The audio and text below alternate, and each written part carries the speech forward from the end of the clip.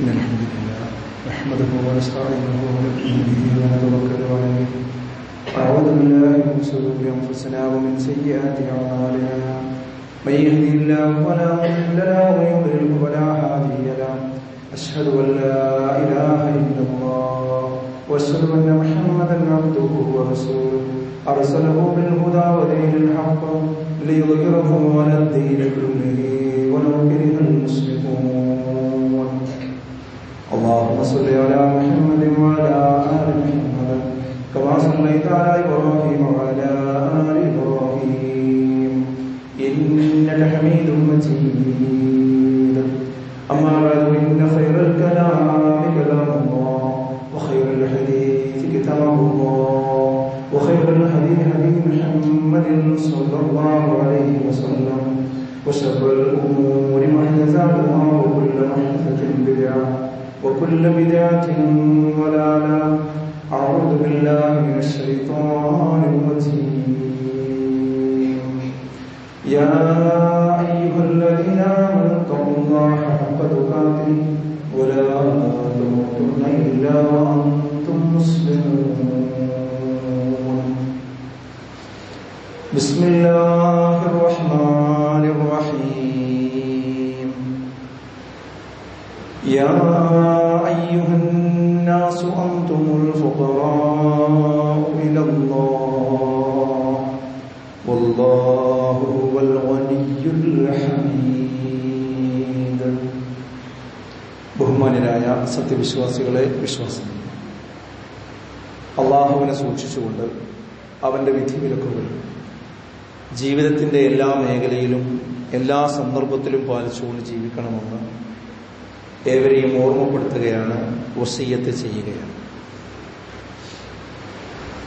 ഭാരം ഇറക്കി വെക്കാൻ വഴിയരികിൽ ഒരുക്കിയിരിക്കുന്ന ചില ചുമടുതാങ്ങികൾ നമുക്ക് കാണാൻ കഴിയും. അത്താണികൾ നമ്മൾ എന്നാണ് സാധാരണ അതിനെ വിളിക്കാറുള്ളത് എന്നാൽ മനസ്സിന്റെ ഭാരം നമ്മൾ എവിടെ ഇറക്കി വെക്കും?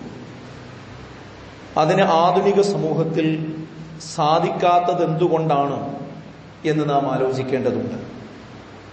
അങ്ങനെ സാധിക്കാതെ വരുന്നതുകൊണ്ടാണ് ആത്മഹത്യയും ലഹരി സാധനങ്ങളുടെ ഉപയോഗവുമൊക്കെ ഇന്ന് നമ്മുടെ സമൂഹത്തിൽ വർദ്ധിച്ചു വന്നുകൊണ്ടിരിക്കുന്നത്. വിശ്വാസികളുടെ ഭാരം ഇറക്കി വെക്കാനുള്ള അത്താണിയാണ് യഥാർത്ഥത്തിൽ പ്രാർത്ഥനയും തവക്കുലും എല്ലാം എന്ന് നാം തിരിച്ചറിയേണ്ടതുണ്ട്. പ്രാർത്ഥനയും അള്ളാഹുവിനുള്ള അങ്ങേയറ്റത്തെ തവക്കുലും ഒരു വിശ്വാസിക്ക് അനിവാര്യമാണ്. അതവന്റെ പ്രശ്നങ്ങൾ ഭാരങ്ങൾ പ്രയാസങ്ങൾ ഇറക്കി വെക്കാനുള്ള അത്താണികളാണ്. വലിയ ഭാരമുള്ള ചാക്കുകൾ ഏറ്റിപ്പോകുമ്പോൾ ഇതെങ്ങനെയെങ്കിലും ഒന്ന് ലക്ഷ്യസ്ഥാനത്തെത്തിയാൽ മതി എന്ന് വിചാരിച്ച് നോവുന്ന ശരീരം നോവുന്ന അവസ്ഥയിൽ മുന്നോട്ട് പോകുമ്പോൾ ഒരു കല്ലിന്റെ അത്താണി കണ്ടാൽ ആ ഭാരം അവിടെ നിന്ന് ഇറക്കി വെക്കുമ്പോണ്ടാകുന്ന മാനസിക സംതൃപ്തി എത്രയാണ് ഇതിലേറെ വലിയ സംതൃപ്തിയാണ് ഒരുപാട് പ്രശ്നങ്ങളുമായി മുന്നോട്ട് പോകുന്ന ഘട്ടത്തിൽ ഇതെല്ലാം ഇറക്കി വെക്കാൻ മനസ്സിനെ ഒന്ന് ഫ്രീ ആക്കാൻ സാധിക്കുക എന്ന്. അതിന് തവക്കുലും പ്രാർത്ഥനയും വളരെ പ്രധാനമാണ്. ഹസ്ബുൻ വക്കീൽ. ഞങ്ങൾക്ക് ഞങ്ങളുടെ അള്ളാഹു മതി എല്ലാം പരമേൽപ്പിക്കാൻ അവൻ മാത്രമാണ്. അവൻ മാത്രം മതി എന്ന ആ ഒരു വിശ്വാസം ഒരു വിശ്വാസിക്ക് ചില്ലറ നിർഭയത്വമല്ല നൽകുന്നത്. അതുകൊണ്ട് ആ പ്രാർത്ഥന കൈവിടാതെ മുന്നോട്ട് പോകേണ്ടുന്ന ഒരു ഘട്ടമാണ് നമുക്കുള്ളത്. അതിന് നമ്മൾ എന്തുകൊണ്ട് പ്രാർത്ഥിക്കണം എന്ന് നമ്മൾ ആദ്യം മനസ്സിലാക്കേണ്ടതുണ്ട് ചില ആളുകളൊക്കെ ധാരണ എന്താണെന്ന് ചോദിച്ചാൽ എന്റെ പ്രയാസവും ബുദ്ധിമുട്ടൊക്കെ പഠിച്ചോണ്ട് അറിയില്ലേ? അള്ളാഹ് അറിയണ കാര്യമില്ല? പിന്നെ ഞാനിപ്പോ ഇതിങ്ങനെ എടുത്തു പറഞ്ഞ് അള്ളാഹിനോട് പ്രാർത്ഥിക്കേണ്ട വല്ല കാര്യമുണ്ടോ? എന്നൊക്കെ വിചാരിച്ച് പ്രാർത്ഥനയെ അങ്ങനെ തള്ളിക്കളയുന്ന അല്ലെങ്കിൽ അതിന് സമയം കൊടുക്കാത്ത അവസ്ഥയൊക്കെ ഉണ്ട് എന്നാൽ അങ്ങനെയല്ല. ഒന്നാമത്തെ വിഷയം നമ്മൾ നിസ്സഹായരാണ് എന്നത്. നമ്മുടെ നിസ്സഹായത നമ്മൾ തിരിച്ചറിയണം. അതാണ് ഖുർആൻ പറഞ്ഞത് യാ അയ്യുഹന്നാസ് ഏ ജനങ്ങളെ അൻതുമുൽ ഫുഖറാഉ നിങ്ങൾ അള്ളാഹുവിങ്കലേക്ക് ആശ്രയമുള്ളവരാണ്. അള്ളാഹുവിനെ ആശ്രയിക്കേണ്ടവരാണ്. നിങ്ങൾക്ക് സ്വന്തം നിലനിൽക്കാൻ കഴിയില്ല. ഹമീദ്. അള്ളാഹുവാകട്ടെ അനാശ്രയനും സ്തുത്യർഹനുമാകുന്നു എന്നാണ്. ആരെയും അള്ളാഹുവിനെ ആശ്രയിക്കേണ്ട കാര്യമില്ല. സർവ സൃഷ്ടികളും ആശ്രയിക്കേണ്ടവനാണ് ആര്? അള്ളാഹു. അതുകൊണ്ട് നമ്മൾ ദുരി ദരിദ്രരാണ്. നമ്മൾ അള്ളാഹുവിനെ ആശ്രയിച്ചുകൊണ്ട് മാത്രമേ നമുക്ക് മുന്നോട്ട് പോകാൻ കഴിയൂ. ഈ ബോധം നമുക്ക് എന്ത് ചെയ്യണം? ആദ്യം ഉണ്ടാകേണ്ടതുണ്ട്. രണ്ടാമത്തെ കാര്യം എന്താണ്? അള്ളാഹ്ക്കെല്ലാം അറിയില്ലായിരുന്നു കണ്ടിരുന്ന സംഗതി നടക്കൂല. അള്ളാഹ് പറയുന്നത് നിങ്ങൾ ചോദിച്ചാൽ തന്നെ ഞാൻ തരുള്ളൂ എന്ന് പ്രാർത്ഥിക്കാത്തവരെ ഞാൻ പരിഗണിക്കില്ല എന്നുള്ളത്. ചോദിക്കണം എന്നുള്ളത് അള്ളാഹു വച്ച ഒരു വ്യവസ്ഥയാണ്.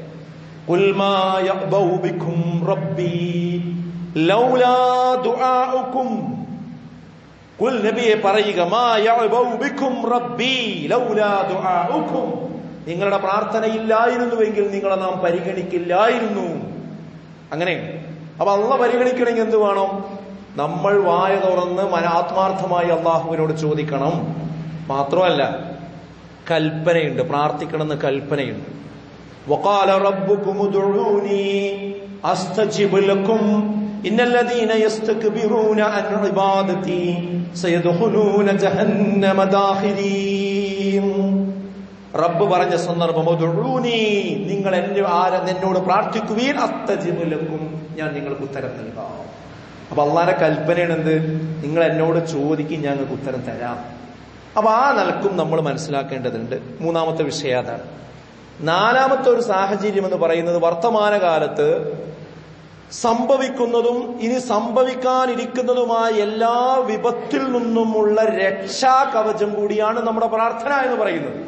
സംഭവിച്ചതും ഇനി സംഭവിക്കാനിരിക്കുന്നതുമായ എന്തൊക്കെ പ്രയാസങ്ങളുണ്ടോ പ്രതിസന്ധികളുണ്ടോ വെല്ലുവിളികളുണ്ടോ അതിനെയെല്ലാം അഭിമുഖീകരിച്ച് മുന്നോട്ട് പോകുവാൻ പ്രാർത്ഥന ഒരു ആയുധമാണ് എന്ന് സ്വല്ലല്ലാഹു അലൈഹി വസല്ലം പഠിപ്പിച്ചിട്ടുണ്ട്.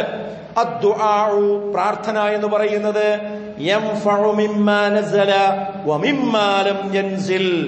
ഇറങ്ങിയതും ഇറങ്ങാനിരിക്കുന്നതുമായ എല്ലാ പ്രയാസങ്ങളിൽ നിന്നുമുള്ള അതിനൊക്കെ പ്രയോജനപ്പെടുന്നതാണ് പ്രാർത്ഥന.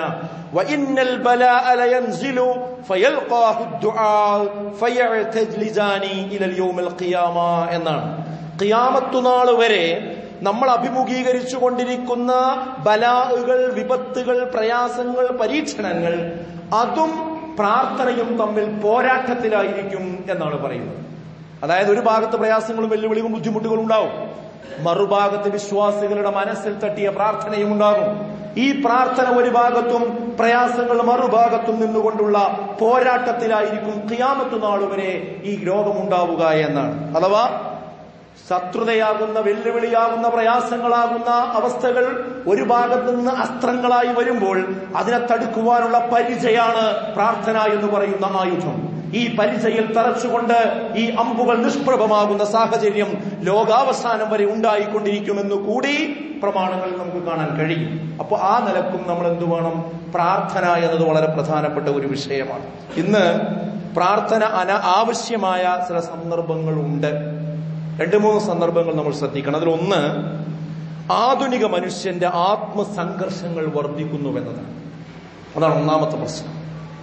കാരണം ലോകം പുരോഗമിക്കും തോറും സൗകര്യങ്ങൾ വർദ്ധിക്കും തോറും മനുഷ്യന് സ്വസ്ഥതയും സമാധാനവും വർദ്ധിക്കുകയാണ് വേണ്ടത്. എന്നാൽ സൗകര്യങ്ങൾ എത്ര വർദ്ധിച്ചിട്ടും അതിന്റെ ഉപയോഗം ജനങ്ങൾക്ക് കിട്ടാതെ പോകുന്നു എന്നതാണ് ഇന്നത്തെ ഏറ്റവും വലിയ വിരോധാഭാസം. റൂമിൽ എ സി ഉണ്ടാവുക എന്നത് നമുക്കൊരു സ്വസ്ഥതക്കും സമാധാനത്തിനും ആവശ്യമാണ്. അല്ലാതെ ചൂടടിച്ച് പ്രയാസപ്പെട്ട് കിടക്കുന്ന ഒരു റൂമിൽ ഉറങ്ങാൻ കഴിയില്ല. എഴുതാൻ കഴിയില്ല ചിന്തിക്കാൻ കഴിയില്ല വായിക്കാൻ കഴിയില്ല. അപ്പൊ ആ അന്തരീക്ഷം ഒന്ന് തണുപ്പിക്കുക എന്നുള്ളത് മൊത്തത്തിൽ നമുക്കൊന്ന് മനസ്സ് ഫ്രീ ആകാൻ ആവശ്യമാണ് എന്നാൽ എ സി ഇട്ടിട്ടും മനസ്സ് ഫ്രീ ആകാതെ അതിലേറെ ചൂടടിച്ചുകൊണ്ടിരിക്കുന്ന ആളുകളുടെ എണ്ണം ഇന്ന് വർദ്ധിച്ചുകൊണ്ടിരിക്കുന്നു എ സി റൂമിൽ ആത്മഹത്യ ചെയ്യേണ്ടുന്ന അവസ്ഥയിലേക്കാണ് മനുഷ്യന്മാർ പോയിക്കൊണ്ടിരിക്കുന്നത്. അത്രയ്ക്ക് ആത്മസംഘർഷം എന്ന സമൂഹത്തിൽ വർദ്ധിച്ചുകൊണ്ടിരിക്കുകയാണ്. രോഗം വർദ്ധിച്ചു വന്നുകൊണ്ടിരിക്കുന്ന രോഗം. വിവാഹം കഴിച്ചിട്ട് സന്താന സൗഭാഗ്യം ലഭിക്കാത്തതിന്റെ അന്തസംഘർഷങ്ങൾ. മക്കൾ ഉണ്ടായവർക്കാകട്ടെ കുട്ടികൾ വഴിവിട്ട ജീവിതം നയിക്കുന്നതിലുള്ള ആത്മവിലാപങ്ങൾ. കുടുംബമായി ജീവിക്കുന്നവരാകട്ടെ ഭാര്യയും ഭർത്താവും തമ്മിലും മാതാപിതാക്കളും തമ്മിലും സഹോദരങ്ങൾ തമ്മിലും ഒക്കെ പ്രയാസങ്ങൾ നിലനിൽക്കുമ്പോൾ കുടുംബ പ്രശ്നങ്ങൾ അന്ന് ഒരു അഗ്നിപർവത സമാനമായി പൊട്ടാൻ കാത്തിരിക്കുന്ന ചില കുടുംബങ്ങൾ. അതുപോലെ തന്നെ സാമ്പത്തിക പ്രതിസന്ധികളിൽ ആടിയുലയുന്ന വ്യക്തികളും സംഘങ്ങളും സമൂഹങ്ങളും ഇത് വർദ്ധിച്ചു വന്നുകൊണ്ടേയിരിക്കുകയാണ്. അതുകൊണ്ട് തന്നെ ഈ ഒരു ഘട്ടത്തിൽ ഒരു വിശ്വാസി ഇതെല്ലാം മുൻനിർത്തിക്കൊണ്ട് അള്ളാഹുവിനോട് പ്രാർത്ഥിക്കൽ അത്യാവശ്യം. അതിലൂടെ മാത്രമേ സ്വസ്ഥത കിട്ടുള്ളൂ.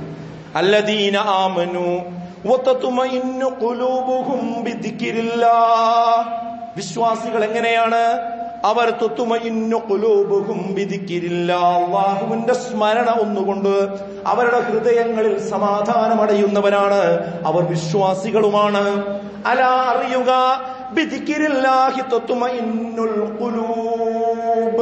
അള്ളാഹുവിന്റെ സ്മരണ ഒന്നുകൊണ്ട് മാത്രമേ ഹൃദയങ്ങൾക്ക് സ്വസ്ഥതയുണ്ടാവുകയുള്ളൂ സമാധാനം ഉണ്ടാവുകയുള്ളൂ പണം കൊണ്ട് സമാധാനം ഉണ്ടാവുകയില്ല പണം നമുക്കുണ്ടാകാം ഉണ്ടാക്കാം. പക്ഷേ പണം കൊടുത്ത് സമാധാനം വാങ്ങാൻ കഴിയില്ല. അതുപോലെ വസ്ത്രം നമുക്ക് വാങ്ങാം. പക്ഷേ വസ്ത്രങ്ങൾ കൊണ്ട് നമുക്കുണ്ടാകേണ്ട ആ ഒരു സുരക്ഷയും സമാധാനവും നമുക്ക് ലഭിച്ചുകൊള്ളണമെന്നില്ല വൽ വലിയ തോതിൽ രുചിയുള്ള ഭക്ഷണ സാധനങ്ങൾ നമുക്ക് വാങ്ങി ഭക്ഷിക്കാം. പക്ഷെ ആ ഭക്ഷണം കൊണ്ട് ഉണ്ടാകേണ്ടുന്ന ശാരീരികമായ പോസിറ്റീവായ അവസ്ഥകൾ നമുക്ക് ഉണ്ടാക്കാൻ അതുകൊണ്ട് കഴിഞ്ഞുകൊള്ളണമെന്നില്ല. ഭൗതികമായ വിഭവങ്ങൾ നമുക്ക് സമാഹരിക്കാം. പക്ഷെ ആ ഭൗതിക വിഭവങ്ങൾ കൊണ്ട് നമുക്ക് സ്വസ്ഥമായി ജീവിക്കാൻ കഴിഞ്ഞുകൊള്ളണമെന്നില്ല. കൊട്ടാര സമാനമായ വീടുകൾ നമുക്ക് ഉണ്ടാക്കിയെടുക്കാം പക്ഷെ ആ വീട് സ്വസ്ഥതയോട് കൂടെ കൂടി കിടന്നുറങ്ങാൻ നമുക്ക് കഴിഞ്ഞുകൊള്ളണമെന്നില്ല. വലിയ രീതിയിലുള്ള ശമ്പളമുള്ള ജോലി നമുക്ക് നേടിയെടുക്കാൻ കഴിഞ്ഞേക്കാം. ആ ജോലി ചെയ്യാനും അതിൽ നിന്ന് കിട്ടുന്ന വരുമാനവും ഉപയോഗിച്ചുകൊണ്ട് സ്വസ്ഥതയുമുള്ള ഒരു ജീവിതം നയിക്കാൻ സാധിച്ചു കൊള്ളണമെന്നില്ല അവിടെ സാധിക്കണമെങ്കിൽ പടച്ച തമ്പുരാനെ കുറിച്ചുള്ള ഓർമ്മയുള്ളവർക്ക് മാത്രമേ സ്മരണയുള്ളവർക്ക് മാത്രമേ പ്രാർത്ഥനാ മനസ്ഥിതിയുള്ളവർക്ക് മാത്രമേ അതിന് കഴിയുകയുള്ളൂ എന്ന് നമ്മൾ തിരിച്ചറിയേണ്ടതുണ്ട്. അല്ല ത്വത്മഇന്നുൽ അതെ ഹൃദയങ്ങൾ സമാധാനമടയുന്നത് അള്ളാഹിനെ കുറിച്ചുള്ള ദിക്കറുകൾ കൊണ്ടാണ്. ഞാൻ മറുവശം പറയാം. നബിസല്ലാഹു അലൈഹി വസ്ലമയും സഹാബത്തും എലിപൊലി കൊള്ളുന്ന വെയിലിൽ മരുഭൂമിയുടെ മണൽത്തരികളിലൂടെ ആ മണൽക്കാറ്റിന് സാക്ഷ്യം വഹിച്ച ആളുകൾക്കറിയാം. മരുഭൂമിയിലൂടെ നടന്നു പോകുമ്പോൾ എത്ര സമയം നമുക്ക് ഒറ്റയ്ക്ക് നടക്കാൻ കഴിയുമെന്ന്. ആ അന്തരീക്ഷത്തോട് യോജിക്കാൻ നമുക്ക് കഴിയില്ല. ആ അന്തരീക്ഷത്തിലാണ് റസൂലുള്ളയും സഹാബത്തും കിടങ്ങു കുഴിക്കുന്നത്. ഹന്തക്കിന്റെ സമയത്ത് കിടങ്ങു കുഴിക്കുന്നത്. കിടങ്ങു കുഴിക്കുമ്പോ ഇവർ തളർന്ന് ക്ഷീണിക്കുകയാണ്. വെള്ളം കിട്ടുന്നില്ല ഭക്ഷണമില്ല വിശപ്പ് കൊണ്ട് പ്രയാസപ്പെടുകയാണ്. അവർ റസൂലുള്ളയുടെ അടുക്കൽ വന്നുകൊണ്ട് പറഞ്ഞു പ്രവാചകരെ ഞങ്ങൾ ക്ഷീണിച്ചിട്ടുണ്ട് പ്രയാസപ്പെട്ടിട്ടുണ്ട് ഞങ്ങൾ ഭക്ഷണം കഴിച്ചിട്ടില്ല. താ ഞങ്ങൾ കണ്ടോ വയറൊട്ടിയിട്ട് വീണു പോകും. ഇത് കൊത്താൻ കഴിയില്ല എന്നതുകൊണ്ട് ചെറിയ കല്ലിന്റെ ചീളുകൾ വെച്ച് കെട്ടിക്കൊണ്ടാണ് ഞങ്ങൾ ഇവിടെ കിടങ്ങു കുഴിച്ചുകൊണ്ടിരിക്കുന്നത്. അള്ളാഹുവിന്റെ പ്രവാചകൻ തന്റെ തന്റെ വസ്ത്രം പൊക്കി കാണിച്ചു കൊടുത്തു കൊണ്ട് പറഞ്ഞു നിങ്ങളുടെ വയറ്റിൽ ഒരു കല്ലേ ഉള്ളൂ. എന്റെ വയറ്റിൽ രണ്ട് കല്ലുണ്ട് അത് കെട്ടിയിട്ടാണ് ഞാൻ ചെയ്യുന്നത്. വയറ്റിൽ കല്ല് കെട്ടി ദാരിദ്ര്യത്തിന്റെ കൊടുമുടിയിലും അവർക്ക് സ്വസ്ഥമായി ആ പണിയെടുക്കാൻ കഴിയുന്നത് മനസ്സിന്റെ വിശ്വാസത്തിന്റെ ബലമാണ്. കൂരകളിൽ ജീവിക്കുന്നവരാണ് സമാധാനത്തോടുകൂടി ജീവിച്ചത്. ഇരുമ്പിന്റെ ദണ്ടുകൊണ്ട് മനുഷ്യന്മാരുടെ പച്ചമാംസത്തിൽ വേവിക്കുമ്പോൾ പോലും മത്താനസുറുള്ള എപ്പോഴാണ് അള്ളാന്റെ സഹായം എന്ന് ചോദിക്കുമ്പോൾ പോലും അവർക്ക് മനസ്സിൽ സ്വസ്ഥതയാണ്. അപ്പോ എത്ര വലിയ വീട് എന്നതല്ല എത്ര വലിയ വാഹനം എന്നതല്ല എത്ര നാലക്ക ശമ്പളം എന്നതല്ല ഉള്ളതുകൊണ്ട് സ്വസ്ഥമായി ജീവിക്കാൻ കഴിയുക എന്നത് മനസ്സിന്റെ സ്വസ്ഥത കൊണ്ട് മാത്രം കഴിയുന്ന കാര്യമാണ് അത് അള്ളാഹുവിലുള്ള വിശ്വാസം കൊണ്ട് മാത്രം സാധിക്കുന്ന കാര്യമാണ്. അതുപോലെ തന്നെ സന്താന സൗഭാഗ്യം ലഭിക്കാത്ത ആളുകൾ. അവരുടെ മുമ്പിലും റബ്ബി ഹബ്ലി മില്ലദുൻക ദുരിയതൻ വയ്യിബതൻ ഇന്നക സമീഉദ് ദുആ സക്കരിയ നബി പ്രാർത്ഥിച്ചതാണ് പടച്ചോനെ എനിക്ക് നല്ല സന്തതികളെ നീ നൽകി എനിക്ക് നൽകണേ ربنا هب لنا من ازواجنا وذرياتنا قرة اعين وجعلنا للمتقين اماما ഞങ്ങളുടെ കുടുംബങ്ങളിൽ മക്കളിൽ കൺകുളിർമയുള്ള ഒരവസ്ഥ ഞങ്ങൾക്കുണ്ടാക്കണമേ എന്ന പ്രാർത്ഥന വിശുദ്ധ ഖുർആൻ പഠിപ്പിക്കുന്നുണ്ട്. ഇതിന്റെ അർത്ഥം എന്താ? മക്കൾ ഉണ്ടായാ പോരാ കുടുംബം ഉണ്ടായാ പോരാ ഭൗതിക വിഭവങ്ങൾ ഉണ്ടായ പോരാ അള്ളഹാനോട് പറയുക കൂടി വേണം. ഈ ഭാര്യയിൽ എനിക്ക് പറക്കത്തുണ്ടാക്കണേ ഈ മക്കളിൽ എനിക്ക് ഐശ്വര്യം തരണേ അല്ലെങ്കിൽ മക്കൾ മതി നമ്മളെ പ്രയാസപ്പെടുത്താൻ. ഈ അടുത്തൊരു രക്ഷിതാവ് പറഞ്ഞതെന്താ? എത്ര ആക്സിഡന്റുകൾ ലോകത്ത് നടക്കുന്നുണ്ട്. ഓരോ ദിവസവും പത്രകോളങ്ങൾ എടുത്തു നോക്കിയാൽ വണ്ടി മുട്ടി മരിച്ചു എന്ന് പറഞ്ഞ ഒരുപാട് വാർത്തകൾ കാണുന്നു. എന്റെ മകൻ എന്റെ ഇരുപത്തെട്ട് വയസ്സുള്ള ആ മകൻ എന്നാണ് റോട്ടിൽ കിടന്നു ആക്സിഡന്റിൽ മരിക്കുക എന്നാ ഞാൻ ആഗ്രഹിക്കുക ആലോചിക്കുന്നത് എന്ന് ഒരു മാപ്പ പറയേണ്ടുന്ന ഒരവസ്ഥയിൽ ഒരു മകനായി പോയിട്ടുണ്ട് എങ്കിൽ എത്രത്തോളം പ്രയാസമാണ് ആ മകൻ ആ വാപ്പക്കും കുടുംബത്തിനും ഉണ്ടാക്കിക്കൊണ്ടിരിക്കുന്നത്? മക്കളുണ്ടാവുക എന്നതല്ല പ്രയാസം. ആ മക്കൾ ഞാമത്തായി മാറുക എന്നതാണ്. അവിടെയാണ് ഞാൻ പറയുന്നത് കൃത്യമായ കാഴ്ചപ്പാടും ബോധവും ഉണ്ടാവുക എന്നത് വളരെ പ്രധാനമാണ്. പ്രാർത്ഥന പടച്ചോനെ ഈ കുട്ടികൾ അങ്ങനെ ആക്കണേ. അവരെ മുത്തക്കിങ്ങൾക്ക് ഇമാമാക്കണേ. പ്രാർത്ഥന മനസ്സിൽ നിന്ന് ഉയരണം. പിന്നെയോ ഈ കാലഘട്ടത്തിൽ മുസ്ലിമായി ജീവിച്ചു തുടങ്ങാൻ എളുപ്പമാണ്. പക്ഷേ മുസ്ലിമായി മരിക്കാൻ കഴിഞ്ഞുകൊള്ളണം എന്നില്ല. കാരണം രാവിലെ വിശ്വാസിയായവൻ വൈകുന്നേരം അവിശ്വാസിയാവുന്ന കാലമാണ്. വൈകുന്നേരം അവിശ്വാസിയാകുന്നവൻ പിറ്റേ ദിവസം അല്ലാതെ മുമ്മിനാകുന്ന കാലം മാറിക്കൊണ്ടിരിക്കുന്ന കാലമാണ്. അതുകൊണ്ട് മരിക്കുന്ന സമയത്ത് ഷഹാദത്ത് കലിമ ചൊല്ലി മരണപ്പെടാൻ കഴിയുക എന്നത് ഈ കാലഘട്ടത്തിൽ വളരെ വലിയ ഒരു പ്രതിസന്ധിയാണ്. അതിനുവേണ്ടി അള്ളാഹിനോട് നമ്മൾ പ്രാർത്ഥിക്കണം. റബ്ബനാ അലൈനാ സുബ്റൻ മുസ്ലിമീൻ. റബ്ബനാ ഞങ്ങളുടെ റബ്ബേ അലൈന ഞങ്ങളുടെ മേൽ നീ സ്വബർ ചൊരിയണേ സ്വബറൻ സ്വബർ ഞങ്ങൾക്ക് ചൊരിയണേ ക്ഷമ ഞങ്ങൾക്ക് ചൊരിഞ്ഞു നൽകണേ. മുസ്ലിമീങ്ങളായിക്കൊണ്ട് ഞങ്ങളെ മരിപ്പിക്കുകയും ചെയ്യണമേ. ധർമ്മങ്ങളിൽ നിന്ന് വ്യതിചലിക്കുവാനുള്ള അനവധി അവസരങ്ങൾ നമ്മുടെ കൺമുമ്പിലൂടെ കടന്നു പോകുമ്പോ നാട് മുഴുവൻ അങ്ങനെയാണ് നീങ്ങുന്നത് എന്ന് കാണുമ്പോ അതിൽ ഉറച്ചു നിൽക്കാൻ എന്റെ മൂല്യമാണ് നല്ലത്. ഒരിക്കലും കാലാതിവർത്തിയായി നിലനിൽക്കുന്ന വിശ്വാസം ഇതാണ്. പലരും പരീക്ഷ പരീക്ഷിക്കപ്പെട്ട് പരാജയപ്പെട്ട പല സംഗതികളുമാണ് നാട്ടിൽ നിലനിൽക്കുന്നത്. അങ്ങനെയുള്ള ഒരു പരീക്ഷണ വസ്തുവായി ഞാനും എന്റെ കുടുംബവും മാറാൻ ആഗ്രഹിക്കുന്നില്ല. എനിക്ക് എന്റെ വിശ്വാസവും എന്റെ ധാർമ്മിക ബോധവുമാണോ ഏറ്റവും നല്ലത് എന്ന് ഉറപ്പിച്ച് മനസ്സിൽ വിശ്വസിക്കുവാനും അതിൽ ഉറച്ചു നിൽക്കുവാനുമുള്ള ക്ഷമ എനിക്ക് നൽകണേ എന്നാണ് നമ്മൾ പ്രാർത്ഥിക്കുന്നത് മുസ്ലിമായി കൊണ്ട് മരിപ്പിക്കണേ എന്ന്. സഹോദരങ്ങളെ ആ പ്രാർത്ഥനയും ഇന്ന് വളരെ പ്രധാനമാണ് അതുപോലെ തന്നെ രോഗം ഇന്ന് വർദ്ധിച്ചു കൊണ്ടുവന്നുകൊണ്ടിരിക്കുന്നു മരണപ്പെട്ട് നമ്മുടെ ആളുകൾ ഒരുപാട് ആളുകൾ മരണപ്പെട്ടു പോയിക്കൊണ്ടിരിക്കുന്നു. നമ്മുടെ മാതാപിതാക്കൾ മരിച്ചിട്ടുണ്ട് ബന്ധുക്കൾ മരണപ്പെട്ടു പോയിക്കൊണ്ടിരിക്കുന്നുണ്ട്. അവർക്ക് വേണ്ടിയും പ്രാർത്ഥന വളരെ പ്രധാനമാണ്. ചെറുപ്രായത്തിൽ ഞങ്ങളോട് അവർ കരുണ കാണിച്ചതുപോലെ റബ്ബേ അവരോടും നീ കരുണ കാണിക്കണമേ. ഇത് മക്കൾ മാതാപിതാക്കൾക്ക് വേണ്ടി പ്രാർത്ഥിക്കേണ്ട പ്രാർത്ഥനയാണ്.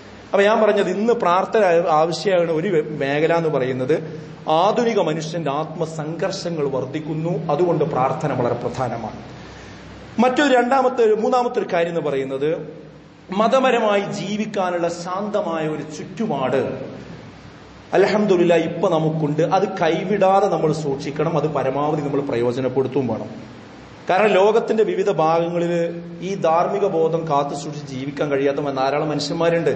വിദേശത്ത് ഒറ്റപ്പെട്ട ആളുകൾ ജോലിക്ക് വേണ്ടി പല നാടുകളിൽ പോയി ബുദ്ധിമുട്ടുന്ന ആളുകൾ അതുപോലെ തന്നെ വെള്ളിയാഴ്ച ഒരു മലയാള ഹുത്തുബ മര്യാദയ്ക്ക് കേൾക്കാൻ സാധിക്കാത്ത ആളുകൾ ചെറുപ്രായത്തിൽ തന്റെ കുട്ടികൾക്ക് ഒരു മദ്രസാ വിദ്യാഭ്യാസം കൊടുക്കാൻ കഴിയാത്ത ചുറ്റുപാടിൽ അകപ്പെട്ട ആളുകൾ ചെറുക്കിനും വിദഗ്ധത്തിനുമിടയിൽ ശ്വാസം മുട്ടി ജീവിക്കുന്ന അത്തരം ആളുകൾ പല രീതിയിലുള്ള ഉപരോധങ്ങൾ സഹിക്കേണ്ടി വരുന്ന ആളുകൾ ഇങ്ങനെയൊക്കെ ഒരുപാട് അവസ്ഥകൾ ലോകത്തിന്റെ വിവിധ ഭാഗങ്ങളുടെ നാടുകളിലുണ്ട്. പക്ഷെ നമ്മുടെ നാടുകളൊക്കെ എടുത്ത് പരിശോധിച്ചാൽ ആ അവസ്ഥയൊന്നും നമുക്കില്ല. നമുക്ക് നല്ല പള്ളി മഹലുണ്ട് ഒന്നിച്ച് ജീവിക്കുന്നവരാണ്. നല്ല ഒരു സാമൂഹ്യ സറ്റപ്പുകൾ നമുക്ക് നാട്ടിലുണ്ട്.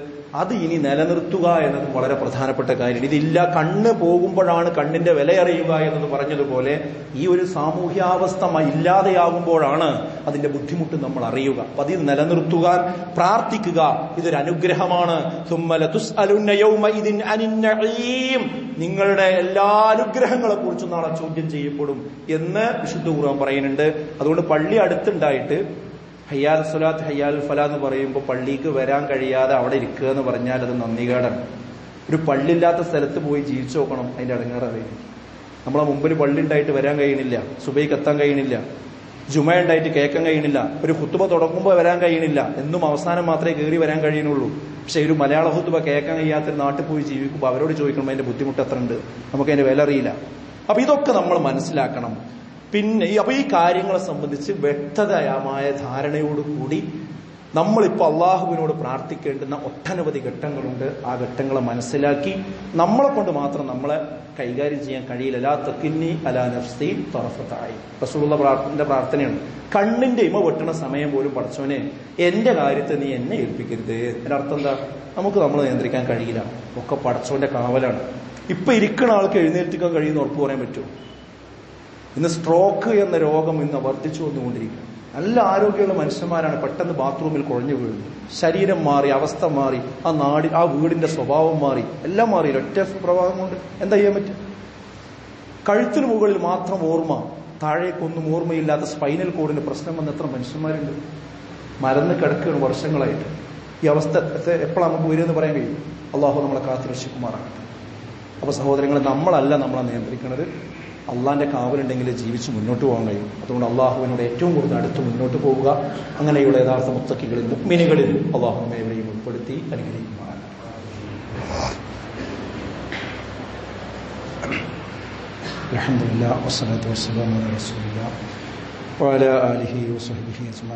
അമ്മാ ബഅദ്.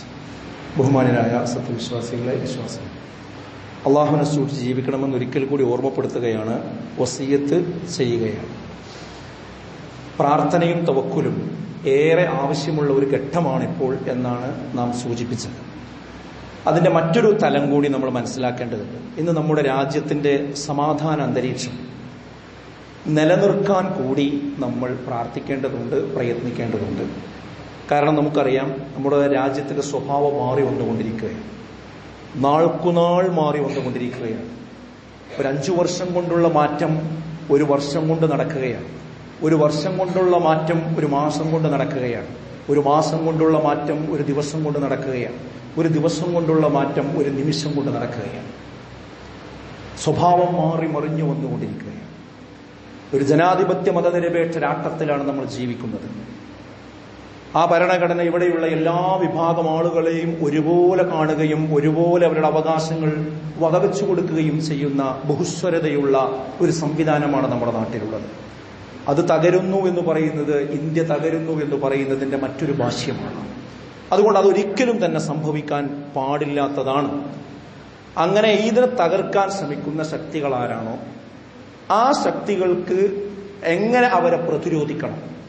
ഈ വിഷയത്തിൽ ഗഹനമായ ചർച്ച നടന്നുകൊണ്ടിരിക്കുന്ന ഒരു ഘട്ടത്തിലൂടെയാണ് നമ്മൾ കടന്നു പോകുന്നത് മതനിരപേക്ഷ കക്ഷികൾ ഒന്നിച്ചു നിന്നുകൊണ്ടാണ് അതിനെ ചെറുത്തു തോൽപ്പിക്കേണ്ടത്. കാരണം അറുപത്തിയഞ്ച് ശതമാനം ആളുകൾ അവരാണ് അവരുടെ യോജിപ്പുണ്ട് എങ്കിൽ നിഷ്പ്രയാസം ആ വിപത്തിനെ ഇല്ലാതെയാക്കാൻ നമുക്ക് എല്ലാവർക്കും സാധിക്കും. പക്ഷേ പലപ്പോഴും അത് സംഭവിക്കുന്നില്ല.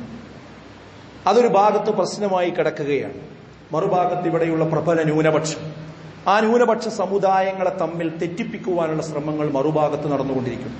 ഒരു ഭാഗത്ത് മഹാഭൂരിപക്ഷമുള്ള നല്ല മനസ്സുള്ള ഒരുപാട് ഭൂരിപക്ഷ സമുദായത്തിലെ ആളുകളെ പരസ്പരം വർഗീയവൽക്കരിക്കുവാനുള്ള അജണ്ടകൾ മെനഞ്ഞുകൊണ്ടിരിക്കുന്നു. മറുഭാഗത്ത് ന്യൂനപക്ഷ വിഭാഗങ്ങളെ സമുദായ വിഭാഗങ്ങളെ തമ്മിൽ അകറ്റാനുള്ള അജണ്ടകൾ ഉണ്ടായിക്കൊണ്ടിരിക്കുന്നു. ഒരു വേള ഇപ്പോൾ ഒരു പടി കടന്ന് മുസ്ലിം കമ്മ്യൂണിറ്റിക്കിടയിൽ മുസ്ലിം ന്യൂന മുസ്ലിം മുസ്ലിം സമൂഹത്തിനിടയിൽ തന്നെ വിള്ളലുകൾ സൃഷ്ടിച്ച് പരസ്പരം അവിടെ പര വിവിധ ചേരികളാക്കി നിർത്തുന്നതിനുള്ള ഒരു അജണ്ടയാണ് ഇപ്പോൾ പ്രകടമായി വർക്ക് ചെയ്തുകൊണ്ടിരിക്കുന്നത്. ഇതിനെ എങ്ങനെ ഈ ഒരു ഘട്ടത്തെ എങ്ങനെ നേരിടണമെന്ന കാര്യത്തിൽ സുചിന്തിതമായ ആലോചന വളരെ പ്രധാനമാണ്. എല്ലാവരും ഒന്നിച്ചു നിന്നുകൊണ്ട് നേരിടുക എന്നതാണ് അതിന്റെ അടിസ്ഥാനം. അതിന്റെ പ്രായോഗികതകളെ കുറിച്ച് ചർച്ച ചെയ്യേണ്ടതുണ്ട്. അതല്ല അതിനപ്പുറത്തേക്കുള്ള ഡിസ്കഷനിലേക്കും കാര്യങ്ങളിലേക്കും പോകുന്നതിനെ സംബന്ധിച്ച് വളരെ ഗൗരവതരമായ ചർച്ചകൾ നടക്കേണ്ടുന്നത് അത് പുറത്തു നടക്കേണ്ടതല്ല പലതും അകത്ത് നടക്കേണ്ടതാണ്. പക്ഷേ ഖേദകരമെന്ന് പറയട്ടെ അതിനുപോലും ഒരു വ്യവസ്ഥയില്ലാത്ത രീതിയാണ് ഇന്ന് നമ്മൾ കണ്ടുകൊണ്ടിരിക്കുന്നത്. ഈ ഒരു ഘട്ടത്തിൽ വിശ്വാസികളായ നമ്മൾ ഓരോരുത്തരും ചിന്തിക്കേണ്ട ഒരു വിഷയമുണ്ട്. വിശുദ്ധ ഖുർആൻ പറഞ്ഞിട്ടുണ്ട് ഒരു പ്രാർത്ഥന. റബ്ബന ഞങ്ങളുടെ റബ്ബേ ലാ തജ്അൽനാ ഫിത്നതൻ ലില്ലദീന കഫറൂ. അവിശ്വസിച്ചവർക്ക് ഒരു പരീക്ഷണ വസ്തുവായി ഞങ്ങളെ മാറ്റരുതേ അതായത് വിശ്വാസികളെ അവർക്ക് എതിരെ നീങ്ങിക്കൊണ്ടിരിക്കുന്നവർ ആരാകട്ടെ? അവരുടെ മുമ്പിൽ ഒരു കളിപ്പാവയായി ഒരു പരീക്ഷണ വസ്തുവായി ഒരു ഇരയായി മാറുന്ന ഒരവസ്ഥ ഒരു ഫിത്തനയായി മാറുന്ന അവസ്ഥ ഒരു കാവരുടെ ഇടയിൽ ഒരു കുഴപ്പമായി മാറുന്ന ഒരവസ്ഥ ഒരിക്കലും ഉണ്ടാകും.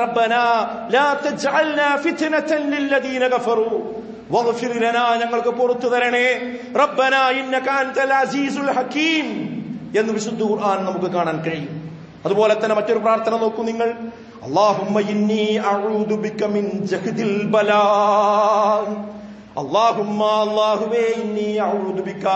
ഞാൻ നിന്നോട് ശരണം തേടുന്നു കാവലിനെ തേടുന്നു. മിൻ ബലാ. എല്ലാ ആപത്തുകളുടെ വിഷമ വിഷമതകളിൽ നിന്നും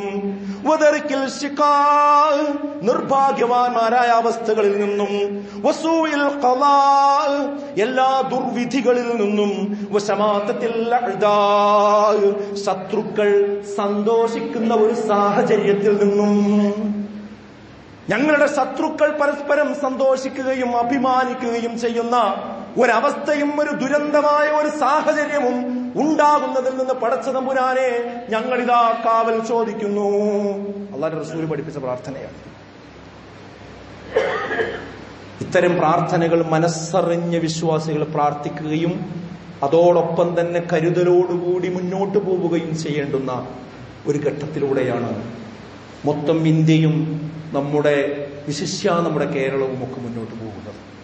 അതുകൊണ്ട് വളരെ ശ്രദ്ധിച്ചും സൂക്ഷിച്ചും ഈ സാമൂഹ്യ ഘടനയിൽ മാറ്റം വരാതെ ഇവിടെയുള്ള സൗഹാർദ്ദവും സഹിഷ്ണുതയും സമാധാനവും സ്വസ്ഥതയും നിലനിർത്തി ഈ മതനിരപേക്ഷ നിലപാടുകൾ ചേർത്തുപിടിച്ച് സ്വന്തം വിശ്വാസങ്ങളും ആദർശങ്ങളിൽ മുറുകെ ജീവിച്ച് അത് പ്രബോധനം ചെയ്യാനും അത് സമാധാനത്തോടുകൂടി സ്വസ്ഥതയോടുകൂടി മുന്നോട്ട് കൊണ്ടുപോകുവാനുമുള്ള നല്ലൊരു അന്തരീക്ഷത്തെ നിലനിർത്തുവാൻ പ്രായോഗികമായ സമീപനങ്ങൾ സ്വീകരിക്കാൻ മുസ്ലിം നേതൃത്വങ്ങൾക്ക് കൃത്യമായ കാഴ്ചപ്പാടുണ്ടാവാൻ എല്ലാവരും പ്രാർത്ഥിക്കേണ്ടുന്ന ഒരു ഘട്ടമാണ് അള്ളാഹു നമ്മെ എല്ലാവരെയും കാത്തിരക്ഷിക്കുമാറാകട്ടെ എല്ലാ വിപത്തുകളിൽ നിന്നും എല്ലാ മുസീബത്തുകളിൽ നിന്നും എന്ന അള്ളാഹു നമ്മളെ കാത്തിരക്ഷിക്കുമാറാകട്ടെ നാളെ പരലോകത്ത് ഉന്നതമായ സ്വർഗം നൽകി അനുഗ്രഹിക്കുമാറാകട്ടെ.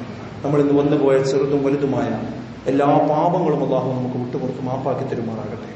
നമ്മളിൽ നിന്ന് മരണപ്പെട്ടു പോയ എല്ലാവർക്കും അള്ളാഹു നാളെ പരലോകത്തുള്ള അവസരത്ത് നൽകി മർഹമത്ത് നൽകി അനുഗ്രഹിക്കുമാറാകട്ടെ നമ്മുടെ കൂട്ടത്തിൽ രോഗം കൊണ്ട് കഷ്ടപ്പെടുന്ന പ്രയാസപ്പെടുന്ന എല്ലാവർക്കും അള്ളാഹു സമ്പൂർണ്ണമായ സമനം നൽകി അനുഗ്രഹിക്കുമാറാകട്ടെ അള്ളാഹു والمسلمين والمسلمات والأحياء منهم والأموات إنك مجيب الدعوات يا هادي الحاجات ربنا اصرف عنا عذاب جهنم إن عذابها كان حراما ربنا هب لنا من أزواجنا وذرياتنا قرة عين واجعلنا للمتقين إماما اللهم اجرنا من النار اللهم اجرنا من النار. اللهم اعز الاسلام والمسلمين واذل الشرك والمشركين. ربنا تقبل منا انك انت السميع العليم وتب علينا انك انت التواب الرحيم. ربنا آتنا في الدنيا حسنة وفي الآخرة حسنة وقنا عذاب النار. آمين يا رحمن